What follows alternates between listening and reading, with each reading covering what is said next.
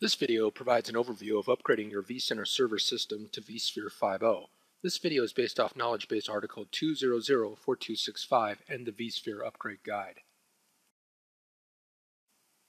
In order to get started, you will want to make sure that you meet the minimum requirements for vSphere 5.0. If you are currently using vCenter Server 2.5 Update 6 or vCenter 4.0, you must first migrate your server to a 64-bit operating system. To get started, log into your vCenter server as an administrator. Mount the vSphere 5.0 media to your machine and click on the Autorun exe in the root folder of the CD DVD-ROM drive. Select vCenter Server option from the VMware product installers on the left-hand side and click the Install button. Select the default language for the installation and click OK. At the welcome screen to the installation wizard for VMware vCenter Server, click Next. You will then be asked to accept the end user patent agreement. Click Next. Select Next if you agree to the terms of the license agreement. In the customer information screen, enter the name of your organization. For the license key, you'll need to enter that. For this example, we are just going to leave it blank. Click Next to continue.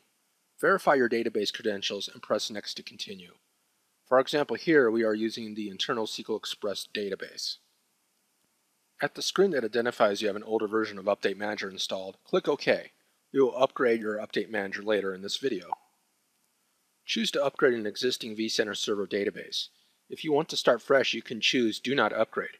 However, this video assumes you want to do a complete upgrade from an older version of vCenter server, so click Next. For the vCenter agent upgrade, choose Automatic and click Next. In the vCenter Server Service window, enter the proper credentials for the service.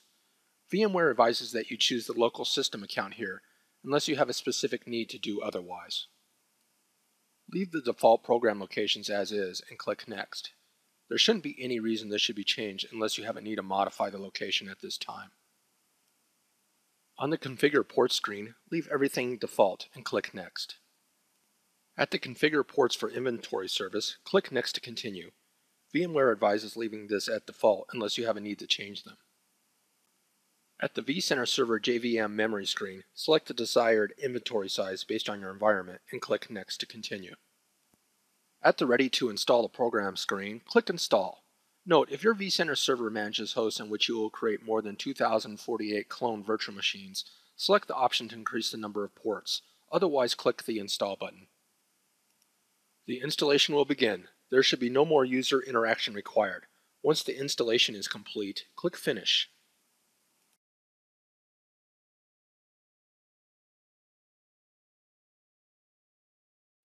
Now we need to upgrade Update Manager in your vCenter server.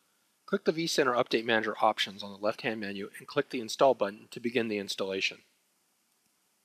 Select the installation language and click OK to continue. Click OK to verify you are upgrading Update Manager. On the Welcome to the Install Shield wizard for VMware vCenter Update Manager, click Next. On the End User Patent Agreement, click Next. Select Next if you agree to the terms of the license agreement. Note, the functionality of Update Manager 5.0 has changed from Update Manager 4x. Update Manager 5.0 no longer supports patching of virtual machines. Click Next to continue. In the vCenter Server Information dialog window, enter the username and password of the administrator that connects to vCenter Server. For this example, we will be upgrading the SQL Express database instance. Click Next to continue. Choose to upgrade the database unless you desire to start fresh. In this example, we will upgrade. Click Next to continue. Select the default vCenter Update Manager port settings and click Next. At the Ready to Install the Program window, click Install. The upgrade no longer requires any user interaction. Once the installation has completed, click the Finish button.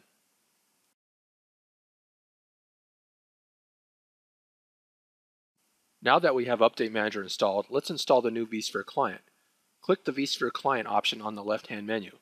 Click the Install button to begin the installation of the vSphere client. Select the desired installation language and click OK to continue. At the Welcome to the Installation wizard for VMware vSphere Client 5.0, click Next to continue. Accept the End User Patent Agreement by clicking Next. Select Next if you agree to the terms of the license agreement.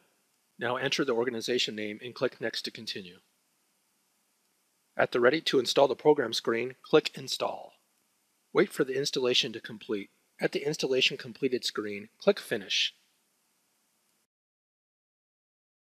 Finally, we are now ready to install the Update Manager plugin that goes into the vSphere client.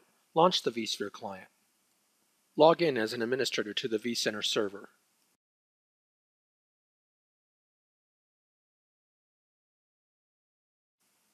Once inside the vSphere client, go to Plugins, then Manage Plugins. Click on the Download and Install link for the VMware vCenter Update Manager extension. Select the default language and click OK. On the Welcome screen, click Next. Select Next if you agree to the terms of the license agreement. At the Ready to Install the program, click Install. Once the installation is completed, click Finish. After a moment, you will see the VMware vCenter Update Manager extension is installed and enabled. You can now close the Plugin Manager window. Click on the Home menu. You will now see the Update Manager has been installed and an icon is available under Solutions and Applications tab on the home page.